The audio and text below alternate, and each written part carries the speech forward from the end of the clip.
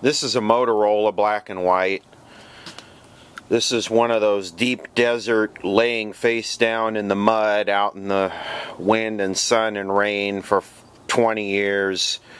Uh, abandoned sets. And uh, I'm going to check the CRT on it. I got a lot of these things I need to assess before I start resurrecting them.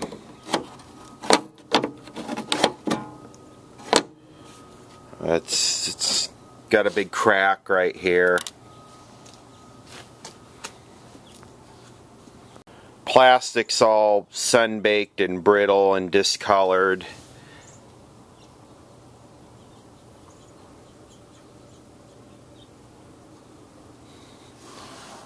Let's get her open and uh, see what she looks like.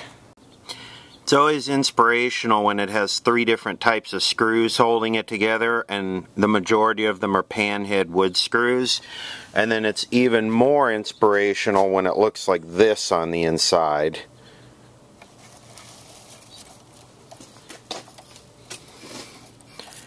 We actually have weeds growing out of the chassis.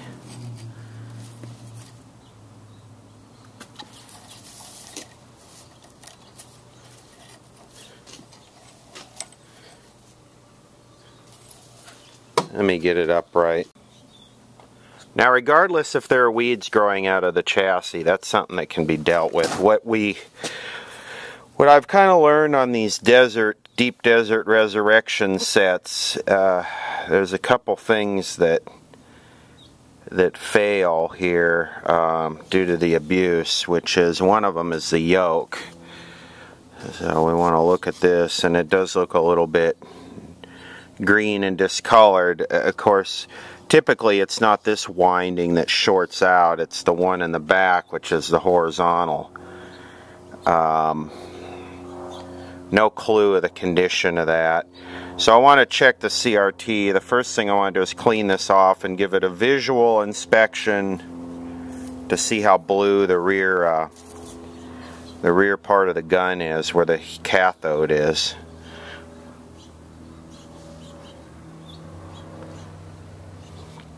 Series string, metal chassis built with solder pots, kind of like a Zenith. Motorola really did its own thing. Um, 7HG8 in the tuner as opposed to a, a GH8. yeah, Motorola was good stuff. You can see this has got a lot of Sylvania horizontal output, GE damper, Sylvania vertical output, GE whatever that one is. Sylvania there. We got a original Motorola tube here. So it's looking like a pretty high hour set. Look at how this thing right here, which is what grounds the dag, look at how rusty that is.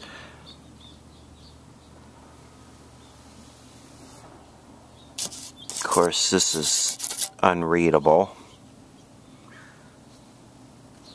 I wonder if this is a chassis number here. GTS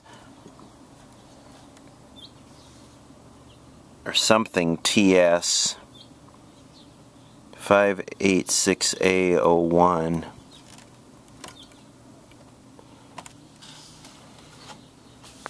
So taking a look in here, there's a little discoloration there. Um, right at the very back tip. It's a little brown, but it's not blue. And over here it is a 19 CHP4. California Highway Patrol. So we'll have to check that out. Alright, here we go. Filament set. Well, it looks like at least it's, it's lighting up in there. I guess it hasn't gone to air. Put that at 6.3. Emissions. Put that on black and white, crank that up.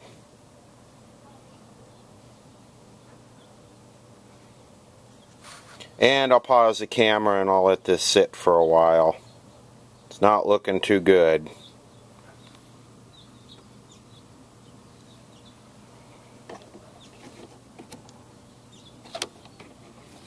It's interesting that there's actually some cutoff with the emissions that weak. I'll let it sit for five minutes. All of a sudden, it just popped and it started going. And, and it's doing this again this jiggling thing. And I've seen so many of these that were sitting for that long do this. I mean look at this.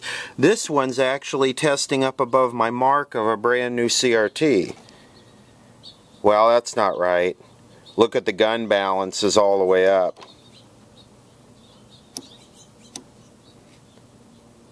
but it's not showing shorts.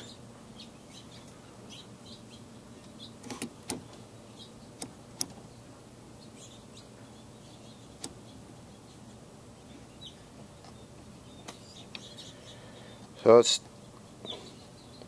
let's set the cutoff.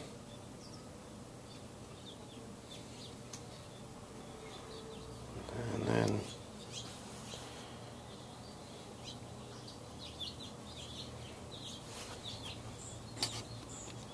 Okay, we're on B. Right, let me um, let me take the filament down and see what happens. Make sure this isn't some kind of short inside.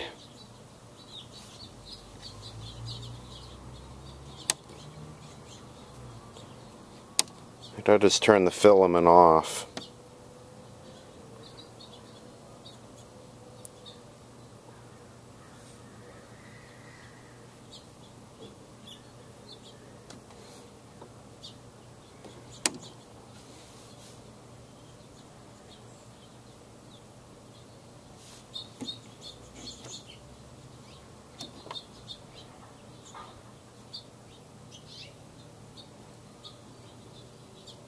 Bring the filament back up. I know this test's kind of weird.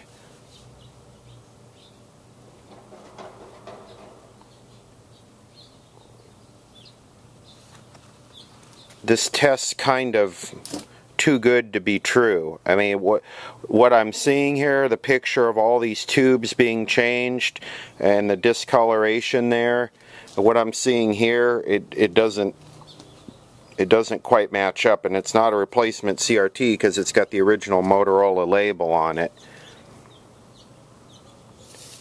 I still dig these weeds growing out of here. Hell with it, let's power it up and see what it does.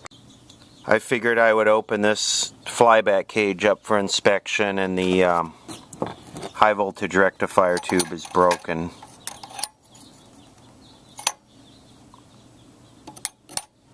So that's to be a, oh, we got, we got weeds growing out of the high voltage socket here. See that? We have weeds growing out of the high voltage socket.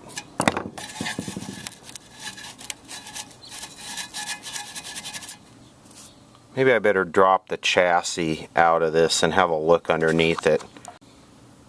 Okay, another mud-filled spider sac egg saturated rust machine. And this is built this is built a lot like a Zenith where it's got solder pots and point-to-point -point construction. Um, Motorola did their own thing though. They, they, they were their own unique designs and they're kind of uh, difficult to troubleshoot. Look at this, the horizontal output tube is made in Holland. Well, I, will fire it up with the, uh, and we'll just see what happens with the tube. I'll just pull it out. Okay, check this thing out. This thing just keeps getting better. We have a dead spider inside the high voltage rectifier tube. We see that there?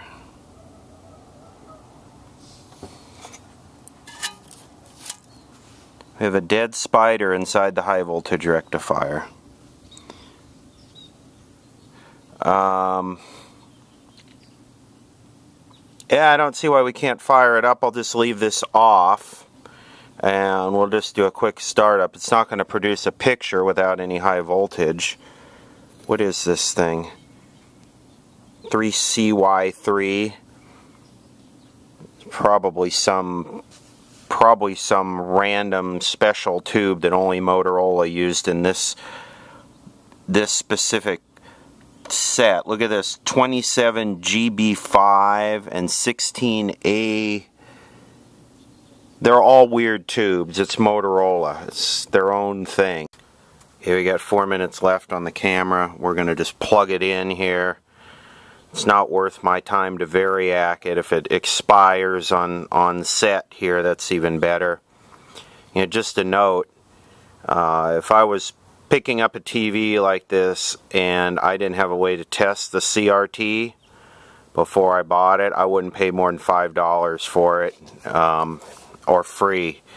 Because one of these, a, a, TV with a bad picture tube now is not worth anybody's time because it's more trouble to try and find one than it is uh, anything else. So if you're looking at getting into this, uh, you pick one of these up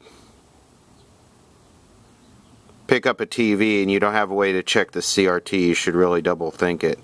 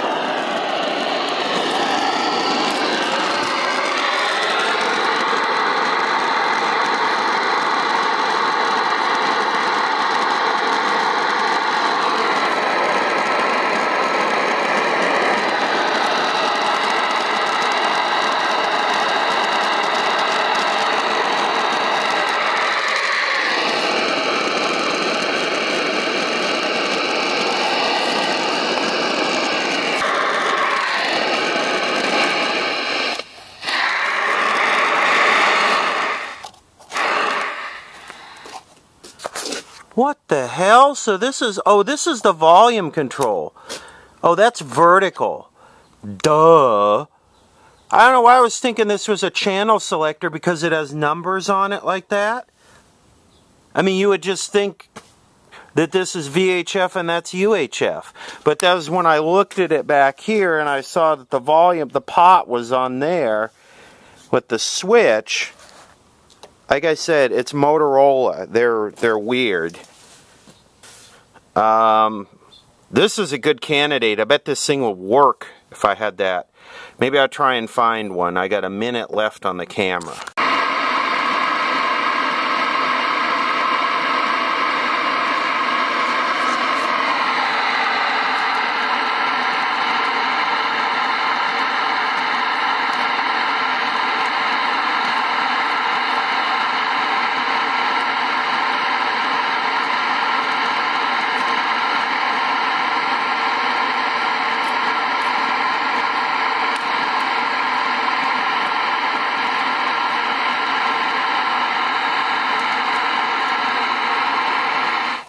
Okay, we'll get it going in part two.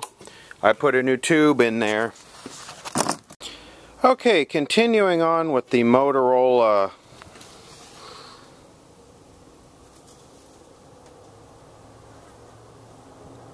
uh, spider set. I forget exactly where we left off with this, but I was going to release the previous part and then I decided, well, what I'll do is I'll just tack this We'll try and get it working in the second part here. So I, I vaguely remember that in the previous part the um, tube was cracked and I did find a schematic on this based something on this number. I forgot exactly what it was. It was a couple weeks ago. But it turned out that they had the wrong tube in here, and this was actually supposed to be a 3A3. So I've got a 3A3 in there now. And I'm, I find I'm always getting these comments, you know, take it and pressure wash it or take it to garden hose to it. And after working on three or four of the, three or four, five, maybe even more of these deep desert sets that have been sitting outside and finding the pattern problems, one of the big pattern problems is the, the coils. You know, this wire is coated with varnish here, and when that varnish breaks down, they arc out. I'm not going to steam clean this thing or pressure wash it or anything and I'm not going to do that with any of these. The dirt might make you squirm but it's not affecting the operation of the TV in my opinion. Uh, if I get it working, what I might end up doing is just taking a vacuum and maybe a brush and cleaning some of this stuff out or some light compressed air. But as far as water goes, no way. That's only going to stir stuff up and strip off what little insulation might have been there in some place and cause it to arc out.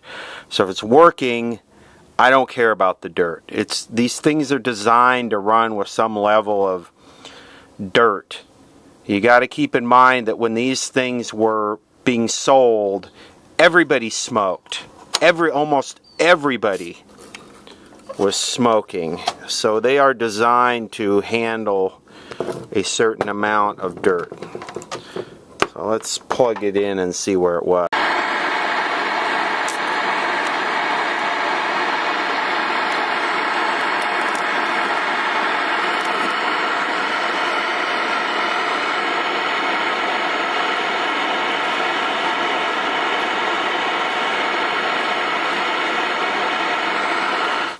In the previous video I could swear that the vertical oscillator was looping, meaning it was starting and stopping. Um, that video was a couple weeks ago, but I, I can actually see static here, snow. See if I can adjust that to kind of sync this up.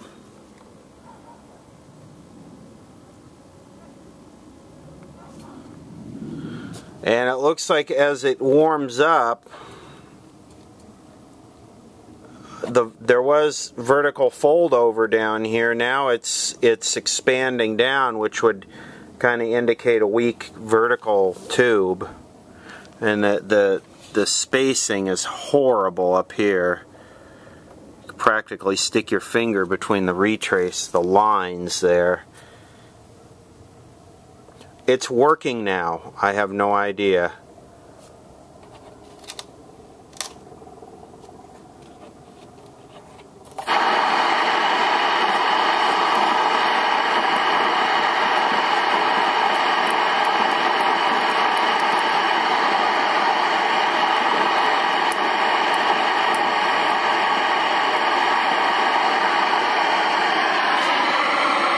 Definitely got some weird issues because look at it shrunk down now.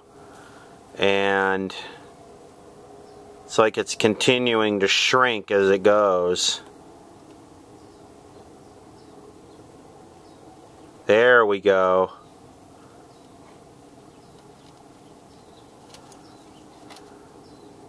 Watch when I adjust the brightness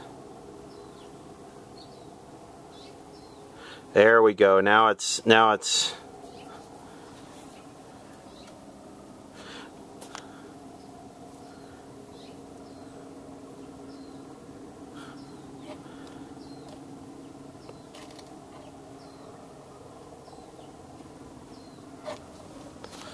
I know it's blanking out here, but it's basically starting over. That to me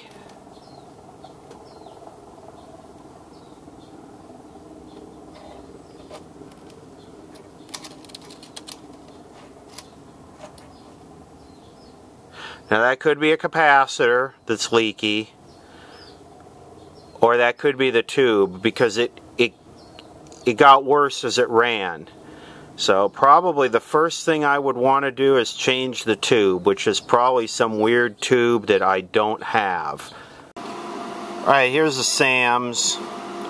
And even though this is like a console, consolette, doesn't matter. Um, same basic chassis for 1964. So we've got, let's see, we've got our vertical multi-vibrator output, which is a 15 CW5, and we've got our vertical multi-vibrator, which is a 9A8 triode, and we got the sync separator, which is a 9A8 triode.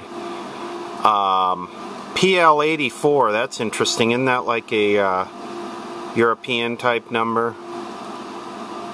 And they use a 15 CW5 for the audio output too. So I guess what I could do is I could pull the audio output and switch it with the uh, the um, vertical output and see if that fixes it. But it could be the 9A8 too. This is kind of symptomatic of a gassy tube where they they work fine for 10 or 15 minutes and then they start to wig out. Could also be a capacitor that gets leaky. Those old domino postage stamp ones do that. But first thing to do is to try and change the tubes around and see if we can get this thing to work. Alright, so here's 15 CW5. That's a genuine Sylvania. 15 CW5, that's a genuine Sylvania too. Let me see if I can get these out without breaking them. Okay, the brightness is way down. You can just barely see that. I switched the tubes around and that's what I got. Let me try and finger it here a little bit and see if it pops in. Uh, nothing. And nothing.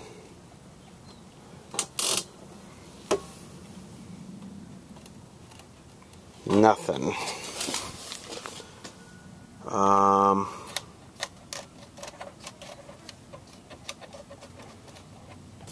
huh, well that doesn't make much sense. The audio is obviously working. This is our vertical output tube right here. One thing I notice is that this is not getting very hot. Um, which I almost wonder if the vertical output transformer is open because if this has plate voltage and it's not running, it should be getting hot hot, hot, hot to where it would burn me. So I'm going to do a few voltage checks and I'm going to check pin 7 which says do not measure on the um, thing that's the plate and I want to see if there's any voltage there first of all. Now I wouldn't do that with the uh, thing working properly that's for sure. In fact what I'm going to do is I'm going to turn it off I'm going to let them cool down for a minute and then I'll come back and I'll clip on here and I'll measure that voltage before I before it warms up. Okay, I'm on pin 9 here which is the plate on the schematic. This is the one that says do not measure. And the reason why it says that is because when that thing is working properly, the high voltage pulses on that will blow the meter up. So what I'm going to do, thing's been cooling off for about 15 minutes. We know it's not running, but just to be precautious, I'm going to turn the power on and I'm going to see I should have voltage there right away. And I sure, surely do. 170 volts. Let's get this off of here.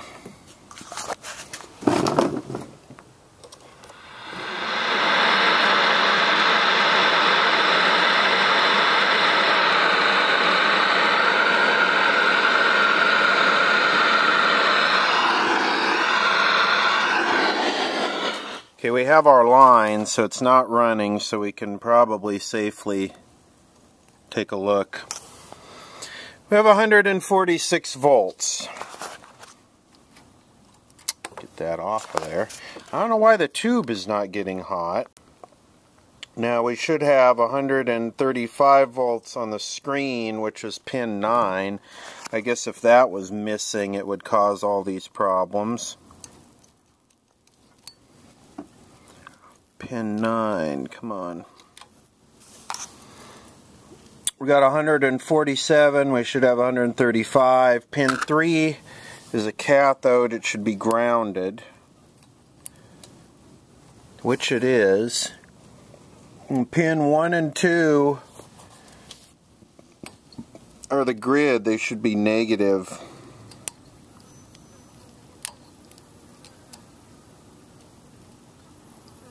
Wow, negative 29 volts. No wonder why it's not getting hot. How could that thing possibly be biased off that hard? supposed to be negative 10 volts. We got a 1 meg. It goes down to the vertical linearity. And then we got a capacitor that goes over to the plate of the 9A8, which has got 50 volts, so that capacitor is definitely not leaky. How could it be biased that negative unless this 1 meg is open or something? And I just found the problem, it's this pot. You can hear it start running there, and it drops to negative 14. It's just dirty pots. I'm chasing dirty pots right now. Well, after screwing with those pots in the back for a good 20 minutes and them literally just disintegrating from being sun-baked, you can see here's some of the blue, uh, what was what you used to turn it with.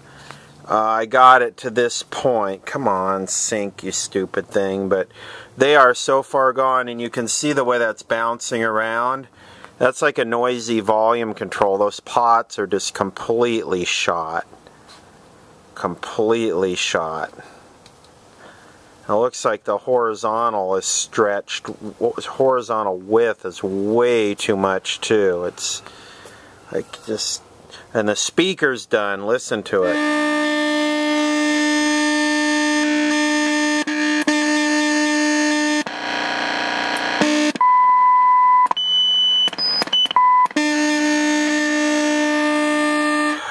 Golden Voice has had too much to drink. It's done.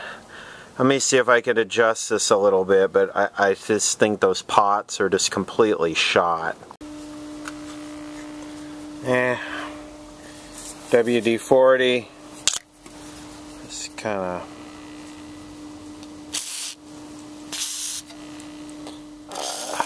I don't want to waste my good uh, stuff on this thing. Well, this actually looks okay. We've got a bad speaker. Okay, we know that. Uh, if I was really interested in this uh, thing, I would replace these two controls here, or these three controls. These are what have been causing all the vertical problems, these three pots right here. So, uh, let me see if I can get this hooked up to some sort of actual TV signal and we'll look at a picture on it. It's kind of dirty to take in the house. And I I guess I could vacuum it. But I really, really, as touchy as those controls are, as touchy as this whole thing is, I don't even want to take these weeds out of it. You. Your day is filled with family, work, friends. Our day filled with covering the news that affects them all 24 hours a day, 7 days a week. The news that matters to you depend on us. Southern California's only 24-hour news and traffic station, KNX 1070 News Radio.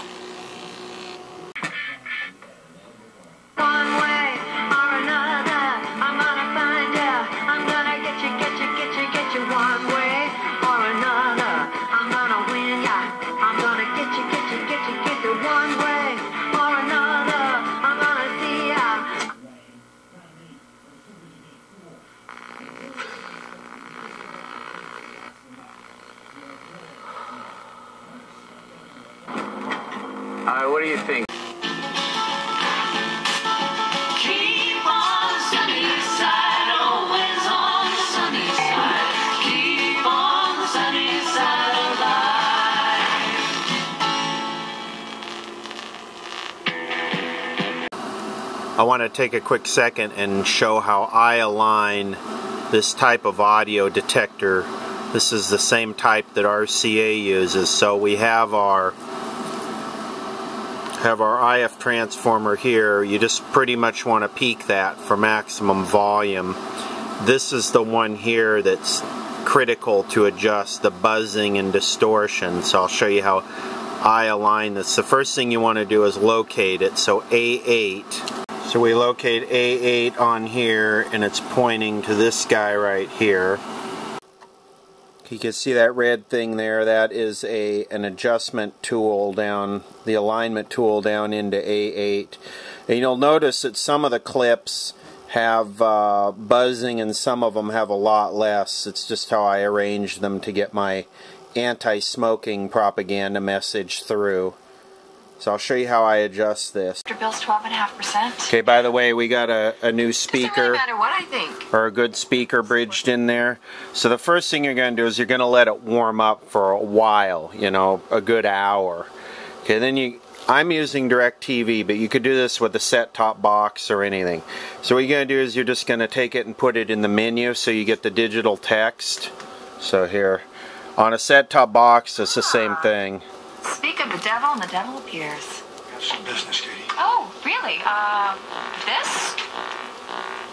Oh, uh, you don't have to worry. She knows all about it. Now you can hear some buzzing started there. Why would she? Okay, now the next thing is ad- Rock and I'm the adjust the fine tuning to where you want it. Thought that you had to rush here before signing. Bill, do I have to sign this today? I don't even have a chance to think about it. Provide some stability for our son. That's So we want it right there nice and sharp. generosity. Okay, now I'm going to tweak the coil. Listen to the audio. Might help a lot.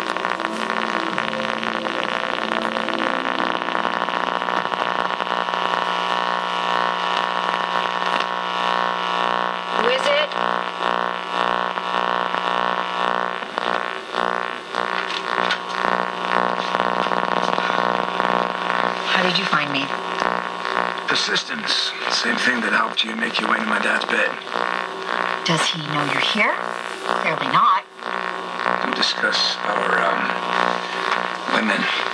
Never ends well.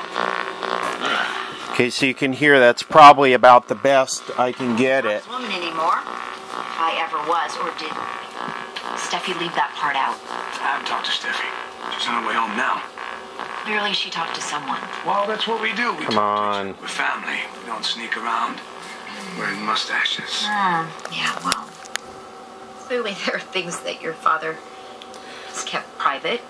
Now, with this type of detector, it's really hard, almost impossible to get rid of all of the buzz. These type of detectors are just buzz-o-matic detectors, Zenith RCA. They're just going to buzz with the digital text. There's just nothing you can do. You just get it as best as you can get it and deal with it.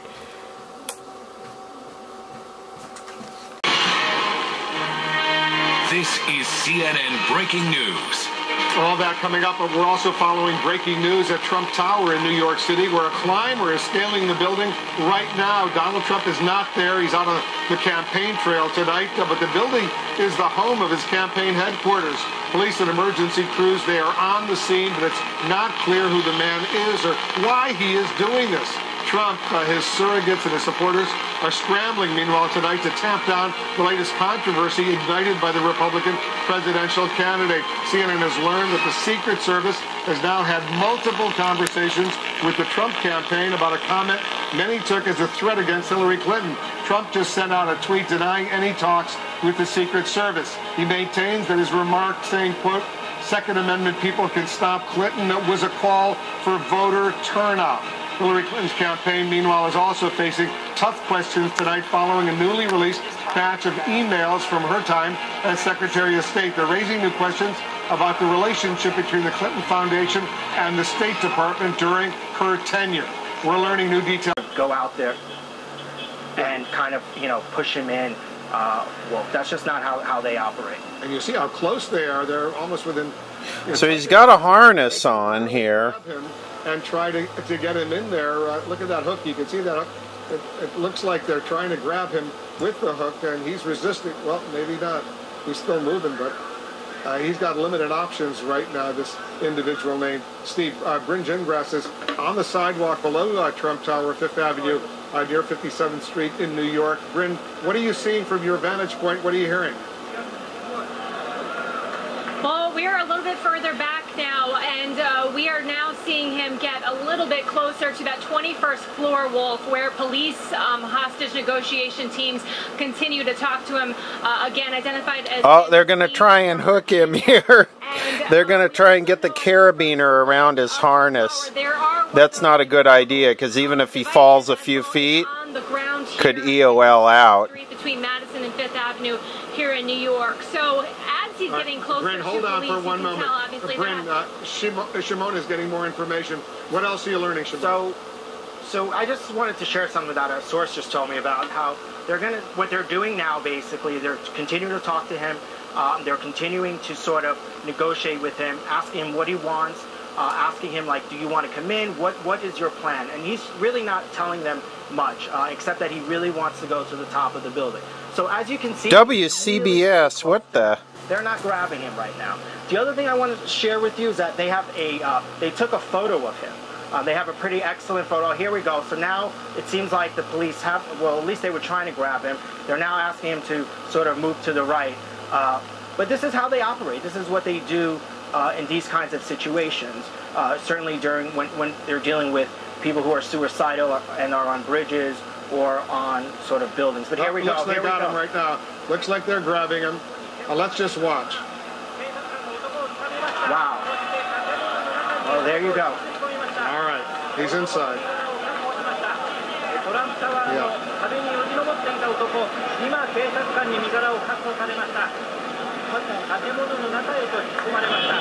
All right, it's so now, over. So this guy yeah. is inside. You heard the crowd cheer. Uh, there was a big gasp, obviously, as the police grabbed him and they brought him inside. Uh, this is the 21st floor of uh, Trump Tower. It's been going on for about two hours. This individual uh, from Virginia named Steve, he announced on a, a YouTube video yesterday he was going to do this. He did it uh, seeking publicity, presumably. We have no idea if he had Well, you should have something there to cut the rope. there on the scene, Brynn Gingras. She- She's just below Trump Tower. Uh, what's the mood down there? What are you hearing? What are you seeing? Well, as you said, Wolf, the crowd About to have a really cheered good when they fight. called him in and uh, sort of gasped even a little bit, making sure that he actually got inside of that window. And now there's a number of police officers pushing the crowds away from this area. Obviously, now uh, this has become a clear, somewhat cleared situation as far as the crowds are concerned. Uh, their attention no longer on that window. Take the test and prove they're not a cheater? I never, ever thought I'll be back on the Maury Show. Here we go. to give me a second chance, and thank God she took me back. Once again, she accuses me of cheating non-stop.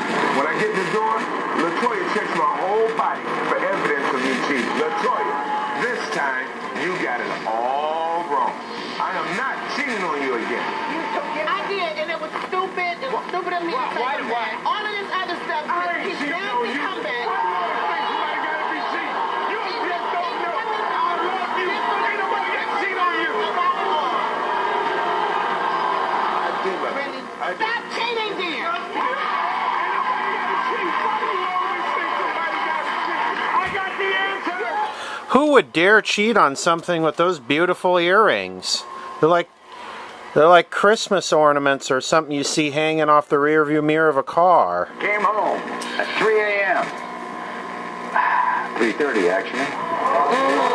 Did you have sexual intercourse with another woman? You said no. The lie detector determined you're telling the truth. I told you. I told you. I told you. I told you. Just one. Just you got the first one right the last time. Wait for the Don't be other. right on. Look at those. Let's let's get in on those earrings. Lipstick on it that Latoya found in your coat pocket. Mm, come from a woman you had sexual Latoya. intercourse. You said no. The lie detector determined you're telling the truth. Tell you, baby. What I tell you. What I tell you. That's what I tell you, baby. I'm telling you.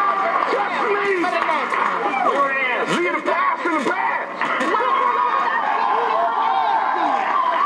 Stop being Your nasty. ass, your ass is the red stain stains on the clean linens. A lot of neighbors and a lot of friends are having kids these days, so SNAP or SSI benefits may qualify for home internet at a discounted rate of $10 a month. No commitment, deposit, or installation fee. Visit att.com slash access now to learn more. That's an interesting problem.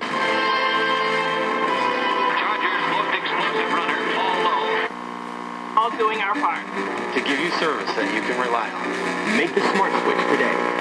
So when it went to an all-white screen, the horizontal oscillator started to twerk or squirculate or something. You've got a range of internet bundles that adjust your speed. Backed by customer support that works with parties you You know what the money bank Needs an alignment. Sound is way off. 10 meg high-speed internet, Wi-Fi hotspot access, and a free modem starting at $59.99 per month. Purchase with our reliable phone service. When your business... Pop it in. Oh, Pop it in. That's a great Netflix. you don't want to come? Like, I, I gotta, I gotta go meet my, my boyfriend. She has a boyfriend. Want a career working on planes? To be the... The Fresh Grocer on KCAL 9 is sponsored by Stater Brothers. It's time right now for our first grocer, Tony Pantillo. And today it's Tony's Table. He's at Take a Bow in Studio City. marinating, um, you know, a lot of You go have a wonderful life with that child. Thank you. Okay, now you can smile. Boy, if that's what they call a happy ending these days, I think it's time to move to a different country. To her ring at her fiance.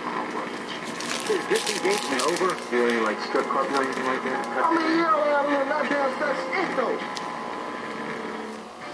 Are you a man who feels it's your right to control your wife or girlfriend? Hell yes. Call the Maury Show at 1-888-45-MAURY. That's 1-888-45-MAURY. Explore Ella's amazing culinary scene at Los Angeles. Back, we're gonna put it all together in a gorgeous warm potato salad. Caramelized onions. Ooh, caramelized onions. I bet those go good with those earrings. All right. Needs a speaker. Uh, as it warms up, it's it's pulling down over here, so that's okay. Um, the pots are bad, but it's stable right now. It's actually not bad. It's a lot better than it looks in the camera. You get this kind of moiré uh, thing in the the camera because the camera's shooting at um, uh, 12 was it 1280 by 720 at 60 frames a second? So it's it's a little bit but yeah maybe we could um, take the weeds out of it. Let's get a shot here of the glowing. Kind of always like to get that shot in there. That's kind of cool